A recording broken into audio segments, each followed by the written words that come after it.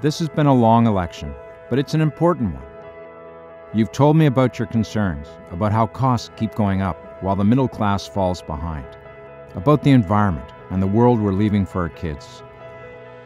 This election's about our future, about Canada's future. I'm ready to stand with you, rain or shine. I'm asking for the honour to be your voice in Parliament and to bring real change to Orleans. We're going to invest in Canada right away. No waiting, no delays, no vague promises. That means jobs, growth, and fairness for the middle class.